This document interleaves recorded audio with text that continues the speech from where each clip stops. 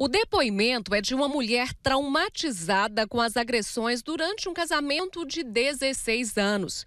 Mesmo com a medida protetiva, o marido continuou com a tortura psicológica. Eu pedi a medida protetiva. Quando ele soube que eu pedi, ele virou um bicho. Mais nervoso ele ficou. Começou a colocar meus filhos contra mim. Começou a me xingar dentro de casa, diante dos meus filhos. Eu me senti um lixo naquele momento. Um dia, tinha um taco de beisebol em casa. Ele pegou esse taco, saiu pelo quintal quebrando os vasos, tudo das plantas. Momentos assim que eu não gostei de lembrar. E assim que conseguiu que o marido saísse de casa, o filho começou a fazer o mesmo que o pai. Começou a me xingar, começou a fazer as mesmas coisas dentro de casa. Parecia até que era o pai dele que estava lá eu fui ficando sem chão.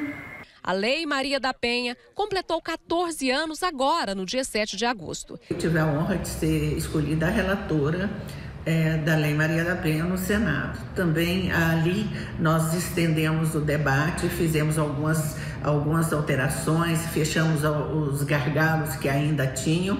Ela foi ao plenário também com a votação maciça de todos os senadores.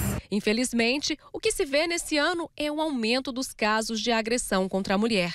De abril para cá, o número de denúncias aumentou 40% no Disque 180, central de atendimento para relatos de violência doméstica, coincidentemente com o período de pandemia. Nós notamos isso através de dados que foram compilados, que foram organizados pela Coordenadoria da Mulher em Situação de Violência Doméstica do Tribunal de Justiça do Estado de Goiás.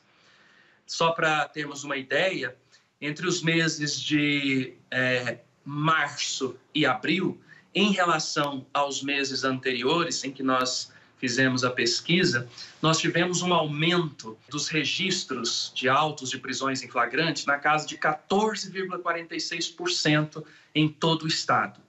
Só em 2020 foram realizados nas delegacias da mulher de todo o estado 20 mil atendimentos. Mesmo com o aumento dos casos de agressão contra a mulher, caíram os pedidos de medida protetiva. De acordo com o Poder Judiciário, isso foi puxado pelo isolamento social, porque ficou mais difícil das mulheres escaparem dos agressores. É para isso que é, ao longo dos últimos meses, né, nós desenvolvemos uma campanha, a campanha que se chama Sinal Vermelho contra a Violência Doméstica.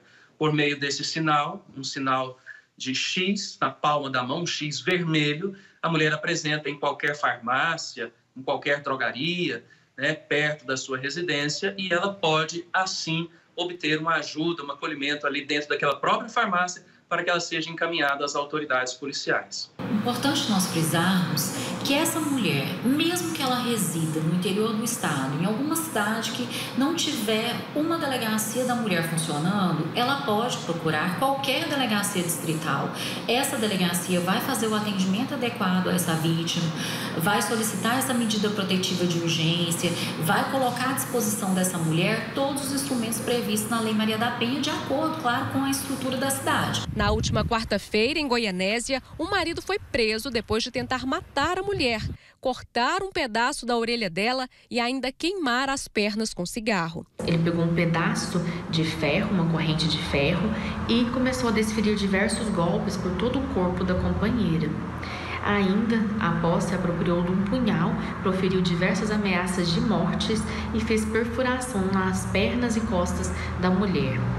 No decorrer das investigações, nós também apuramos que o acusado estuprou a amiga da sua companheira. Para praticar o crime, o investigado queimou as pernas da mulher com um cigarro e ainda cortou a orelha da, da mulher com, com esse mesmo punhal. Do começo do ano até agora, já foram julgadas quase 13.900 ações por violência doméstica no Poder Judiciário de Goiás. 60% dos autores foram condenados, mas muitos ainda acabam absolvidos por falta de provas. Por isso, a importância de se ter o máximo possível delas. Prints de conversas em WhatsApp, né?